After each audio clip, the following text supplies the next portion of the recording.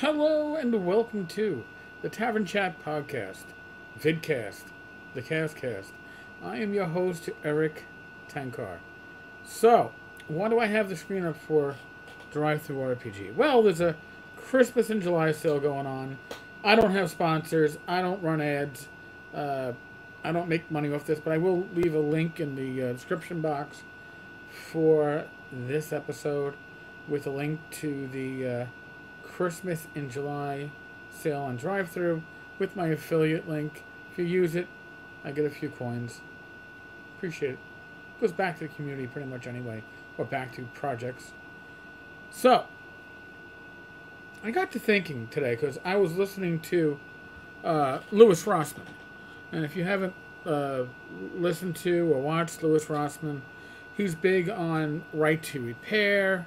Uh, he is uh, a New Yorker. he certainly has a New York attitude. Um, and he was talking, reading an article about the Hamptons and how this rich escape or uh, a enclave for uh, the rich in New York City um, is suffering from lack of people to work historically, I guess, summer jobs because unemployment is paying too much. And, and you know what? It, it got me thinking.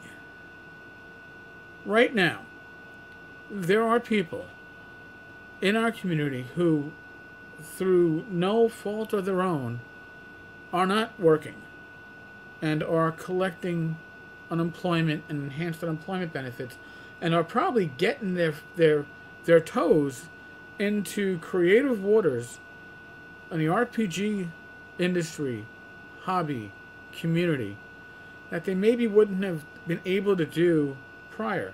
Now, at some point, these benefits are going to come to a close. They're going to need to find employment. But in the meantime, we've probably gained, and I don't have numbers for this, but we've probably gained a significant number of creators that we wouldn't have otherwise. And they'll probably retain many of these creators as they realize they can supplement their income going forward by creating. But what's going to happen in the in a post-pandemic world, aside from the uh, the ceasing of the enhanced unemployment benefits, well, I think we've changed certain aspects of society. We've changed to a work at home environment for many office jobs. Your office now is your home. It's a home office. Uh, Rach has, as a social worker, has been doing her work from home with clients on the phone or in a video conference since late March of 2020. So we're talking damn close to a year and a half. People have been gaming. Many games moved to virtual from tabletop. And these games aren't all going to switch back to face to face at somebody's dining room table or kitchen table or living room or game store. They're going to stay virtual, even though people all live in the same general area. Because although virtual does not give the same experience by far, all right, it does give convenience. And we are a society today that is highly built on convenience. And just think about it. Maybe you had to drive 30 minutes to uh, get to your game before. When I used to play out Long Island, my, my drive from the city, from Queens, out to Suffolk County, at rush hour, was usually at least 90 minutes. My drive home was about 40. So I was looking at over two hours of commuting time and two hours of burning fuel to play a game in person. Now, if that game had been forced to go virtually for the last year and a half, I don't know how quick people would have been to swap that around. We had somebody who was driving from New Jersey. God bless them. But and and we had there was talk even at the time like, oh, ah, we'd never want to bring this to be virtual. But if you were forced to go virtual, you might find benefits to it that you weren't expecting to. So these are things I think as a gaming community we have to think about. Conventions. Even conventions that are going to have physical you know meet, meet space conventions North Texas, Gamehole, GaryCon, uh, I think even Gen Con, they're all also offering some kind of virtual convention, and not just for uh, our, our, usual convention goers who can't cross the borders, right? Because of still in the midst of the, the COVID pandemic, but because some people can't afford to travel from outside the borders or across the country to go to these conventions. It's a lot more convenient to have a virtual aspect. Now, do I think a virtual convention can hold a candle to a physical convention? No. No. But if I lived in an area where it was two and a half, three mile drive to an airport, or um, I didn't have family members to watch my cat and dog when Rach and I went away to a convention in person, um, virtual conventions would certainly, certainly be a, a, a valuable option to have.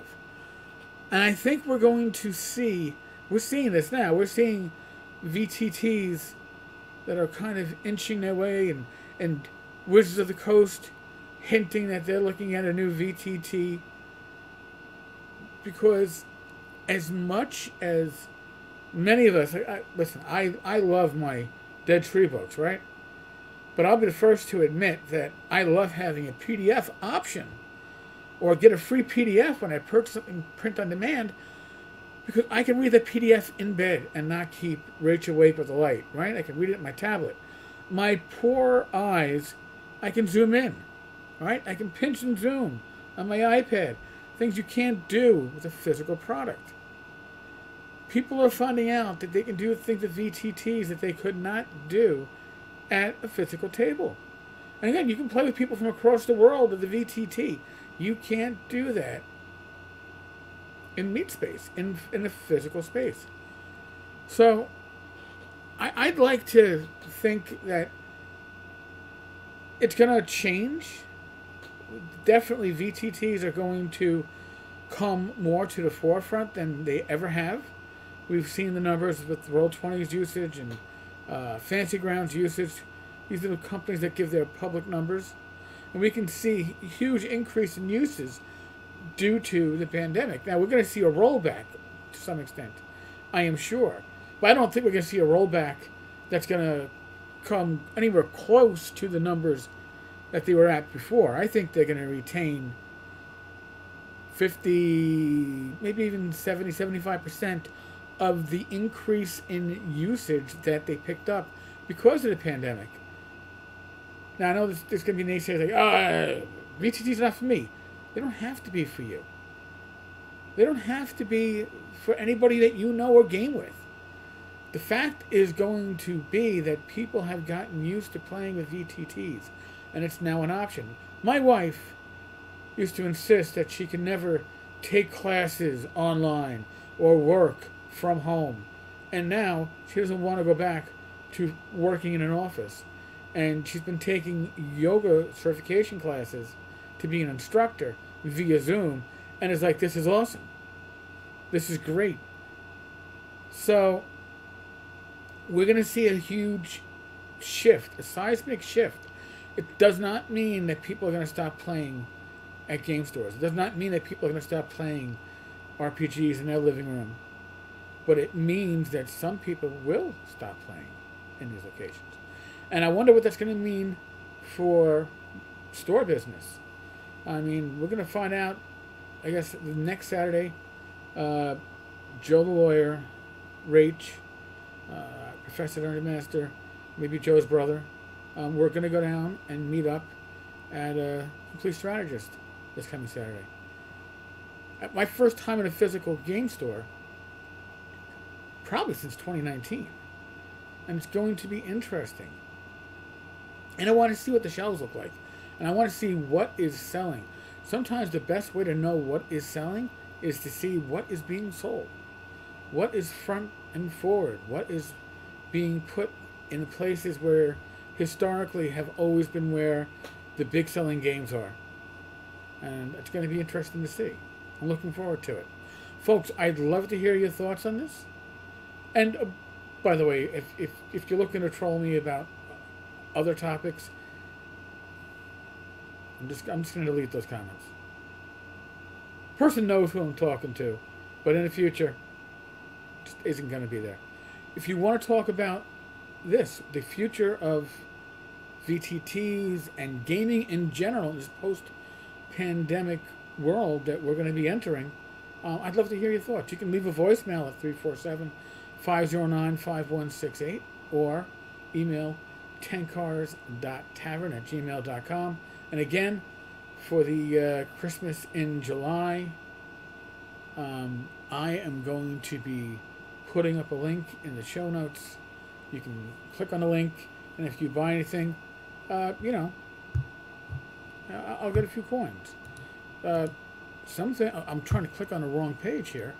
Uh, under five dollars. Uh, look at that. Torchlight comes in at number six still, holding its ground, and hottest small press. Torchlight is number five.